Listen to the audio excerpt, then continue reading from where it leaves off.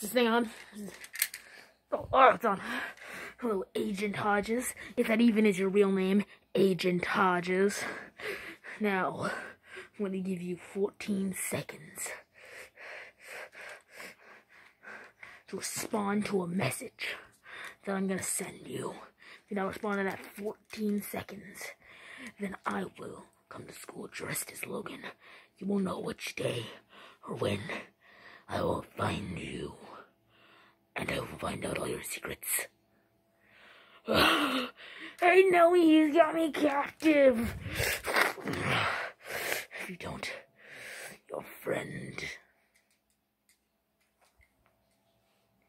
Your friend over here. Aiden. He's, he's gonna kill me.